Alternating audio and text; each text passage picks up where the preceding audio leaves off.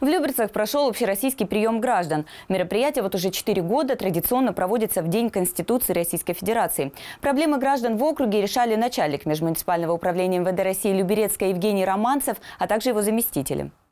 Помочь в решении проблемы, выслушать и дать исчерпывающие ответы гражданам. Одни из главных задач, которые стоят перед теми, кто ведет личный прием. На подобные встречи с сотрудниками правоохранительных органов жители всегда идут с разными вопросами. В Люберецкое управление МВД на этот раз обратились с проблемами жилищно-коммунального хозяйства, миграции, гражданских отношений между предпринимателями, а также мошенничества. Все вопросы взяты на контроль. В установленные сроки гражданам будут представлены ответы по их обращениям. Отметим, что что ознакомиться с графиком проведения личного приема сотрудниками Люберецкого управления МВД можно на официальном сайте ведомства. Мария Антонова, Никита Скраган, телеканал ЛРТ.